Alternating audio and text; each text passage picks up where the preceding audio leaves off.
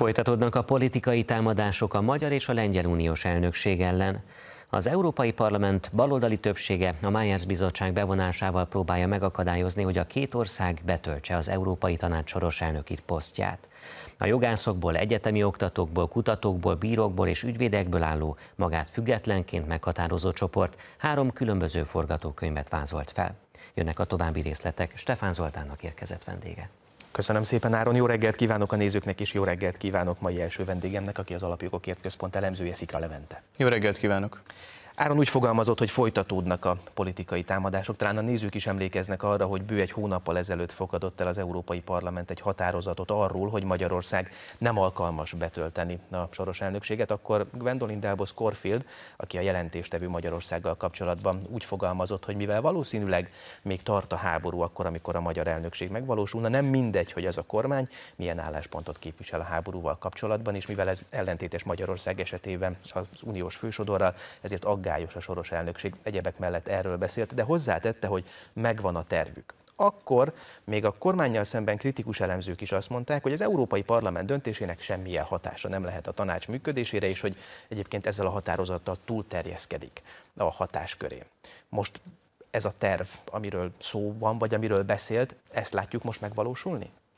Természetesen van egy kísérlet, egy próbálkozás arra az Európai Parlamentnek a baloldali többsége részéről, hogy megfosszák Magyarországot és akár Lengyelországot is a soros elnökségétől, de a helyzet az jogilag változatlan, tehát továbbra sincsen az Európai Parlamentnek semmilyen érdemi beleszólása ebbe a kérdésbe. Úgy is mondhatnánk, hogy egyszerűbben fogalmazva, hogy az Európai Parlamentnek ebben a kérdésben nem osztottak lapot. Persze ez általában nem szokta zavarni az Európai Parlamentet, és nagyon sok más olyan eset is előfordul, amikor a saját hatáskörébe nem tartozó ügyekben fogalmaz meg javaslatokat, vagy hát követeléseket egyre inkább. És azért azt hadd tegyem hozzá, hogy az idézett képviselőasszonynak a megszólalása az egyébként nem csak politikailag problémás, tehát politikai álláspontja miatt próbál egy tagállamot diszkriminálni és elhetetleníteni, de nem csak ezért, ezért problémás. Tulajdonképpen úgy tűnik, hogy nem is ismeri az Európai Tanács működését a képviselőasszony, hiszen az, hogy ki tölti be a soros elnöki tisztséget, az nem jelenti azt, hogy ez a döntéshozatalban is ennek a soros elnök tagállamnak az álláspontja többséget kap, hiszen továbbra is szavazások útján működik ugye az Európai Unió tanácsa, ott a tagállami miniszterek foglalnak helyet, és ebből a szempontból természetesen azok az álláspontok kerülnek elfogadásra, amelynek a kellő többsége megvan. Tehát az, hogy ki a soros elnök, annak van jelentősége és van szerepe, hiszen például a napirend meghatározásában beleszólhat a, ez a tagállam, de önmagában ettől még nem fogja az egész Európai Unió a magyar álláspontot képviselni. Hozzáteszem, sajnos, mert egyébként azt gondolom, hogy az egész Európai Uniónak ez hasznosabb lenne. A magát függetlenként meghatározó testület, a Myers Bizottság és a soros elnökség elnapolását, elodázását javasolja. Ők úgy fogalmaztak, hogy nem büntetni akarnak, hanem az Európai Tanács munkáját segítik. Milyen akadályokat lát ez a bizottság? Azt azért tudni kell, hogy ez a bizottság ez az Európai Unióhoz nem kapcsolódik, semmi köze hozzá, tehát ez egy tulajdonképpen egy ilyen föderalista jogászklub, vagy nevezhetjük így őket. Biztos nagy tudással rendelkeznek, és természetesen minden tiszteletem az övék, de hát ők tulajdonképpen a saját zsebükbe dolgoznak, vagy az asztalfióknak készítenek terveket, azt azért tegyük hozzá. Azt gondolom, hogy itt elsősorban az a politikai probléma áll fenn, amiről részben már beszéltünk is, ami arról szól, hogy Magyarországnak nagyon fontos politikai kérdésekben kérdésekben más az álláspontja, mint az Európai Uniónak a fősodrának, vagy mondjuk a brüsszeli elitnek. És ebből a szempontból ugye három témát érdemes mindenképpen kiemelni, a legfontosabb a háborúhoz való viszony, ezt, ezt ugye idéztük is korábban, de a migráció vagy a gyermekvédelem gender ideológiához való viszonyulás kérdése is olyan ügy, amely nagyon jelentős politikai ellentéteket szül Brüsszel és Magyarország álláspontja között, és összességében is ugye Magyarország egy olyan szuverenista álláspontot álláspontot képvisel, tehát egy olyan Európai Uniót képzel el Magyarország, ahol a független szuverén tagállamoknak az együttműködéséből van egy szövetség. És ezzel szemben a, a brüsszeli baloldali elit, akik az Európai Parlamentben többségben is vannak, ők egy Európai Egyesült Államok irányába szeretnék eltolni az együttműködést, tehát ebből a szempontból a tagállamoknak a függetlenségét vissza szeretnék szorítani. Tehát ez, ezek a politikai különbségek állnak a háttérben, és ezért keresik az összes olyan pontot, ahol Magyarországot támadni tudják, és ez az elnökséggel kapcsolatos vita, az elnökségre irányuló támadások, azok ugyanebbe a körbe illeszkednek. Hadd jegyezzem meg, hogy ugye itt azt szoktuk mondani, és azt most is elmondtuk, hogy nem az Európai Parlamentnek a hatáskörébe tartozik ennek eldöntése,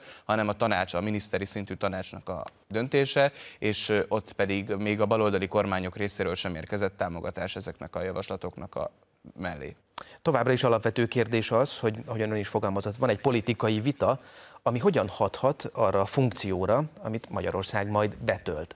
És hát ön is úgy fogalmazott, hogy a Meyers Bizottság egy elit jogászklub Magyarországgal szemben számos jogállamisági kritika merült fel az Európai Unióban, miközben a soros elnöki posztot az alapszerződések, a Lisszaboni szerződés rögzíti, tehát benne van az uniós jogban. Így van, ugye a, pontosan azt rögzíti az Európai Uniós szerződés, hogy minden tagállam egyenlő arányban, rotációs alapon tölti be az elnökséget, és hogy pontosan mi a konkrét sorrend, azt pedig ugye az Európai Unió tanácsának egy határozata tartalmazza, tehát erről van egy elfogadott és hatályban lévő döntés. Egyébként volt már arra példa, hogy megváltoztassák a sorrendet, de ez mindig akkor történt, amikor valamilyen változás történt az uniós tagságban, például Horvátország belépett, vagy az Egyesült Királyság kilépett. Ilyen esetben természetesen elfogadható a sorrendnek a megváltozása, hiszen megváltozik az alaphelyzet. De abban a helyzetben, amikor csak egy politikai véleménykülönbség van egy tagállam és mondjuk az Európai Parlament többsége között, ebben a helyzetben természetesen nem elfogadható az elnökségi sorrendnek a megváltoztatása, de megjegyzem még egyszer, ez nem is reális, hiszen például az előző ciklusban svéd elnökség volt az Európai Unióban, ugye ez július 1-ig így volt ebben a fél évben, és a svéd elnökség az azért, a svéd és a magyar viszony az nem felhőtlen, de a svéd elnökség sem vette napirendre ezt a javaslatot, és most ugye a spanyol elnökség van.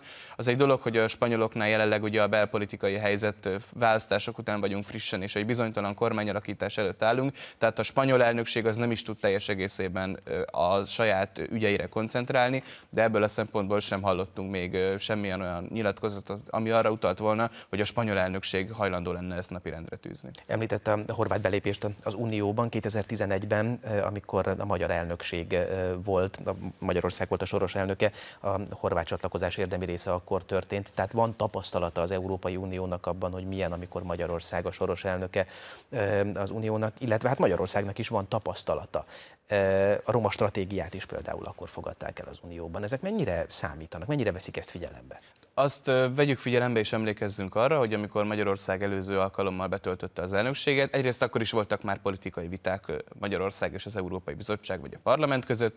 Ugye abban az időszakban is volt már, hogy a miniszterelnök az Európai Parlamentben védte meg a támadásoktól Magyarországot, és ugye akkoriban a médiatörvény, alaptörvény és hasonló kérdések voltak napirenden. A lényeg az az, hogy akkor is az Európai Uniós soros elnökséget Magyarország függetlenül a vitáktól sikeresen és eredményesen el tudta látni, és egyébként ezt még a kritikusai is elismerték abban az időszakban, hogy a szakmai programja a magyar elnökségnek az kiváló volt, és a magyar elnökségnek voltak eredményei. Tehát valóban, amiket ön is említett, ezek ide tartoznak, és azt is természetesen fontos elmondani, hogy önmagában ritka dolog az, hogy ugyanazzal a kormányfővel, vagy adott esetben ugye miniszteri szinten is egyezésekkel, ugyanaz a kormány kétszer is betöltse a soros elnökséget, hiszen ugye ritkán kerül egy tagállamra sor, most is ugye több mint 12-13 év telik el két elnökség között, és ebből a szempontból ilyen sokáig ugye ritkán vannak hatalmon kormányok, tehát ez egy ritka dolog, egy ritka tapasztalt elnöki vezetése lesz az Európai Uniónak ebben az időszakban, és ez egy politikai legérzékeny időszak lesz, hiszen ekkor lesz a pozícióknak az újraosztása az Európai Unión belül. És Pont még ezt szerettem volna igen megkérdezni, mert fél percünk van hátra a műsorból, hogy sokan fölvetik azt a, azt a kérdést, hogy vajon aggódnak-e az európai parlamenti képviselők, a jelenlegi képviselők, hiszen a választás után veszi át az elnöki tisztséget Magyarország. Így van, egyértelműen ez a másik oka annak, hogy megtámadják Magyarországnak az elnökségét, hiszen ebben az időszakban Magyarország moderátor szerepet fog betölteni a pozíciók leosztása során, és ebben az értelemben nyilván valamivel több beleszólása lesz a magyar kormánynak, mint amúgy lenne, és ez természetesen nem szimpatikus nekik. Szigra Leventének köszönöm szépen, hogy itt volt, és mi erről beszélhettünk.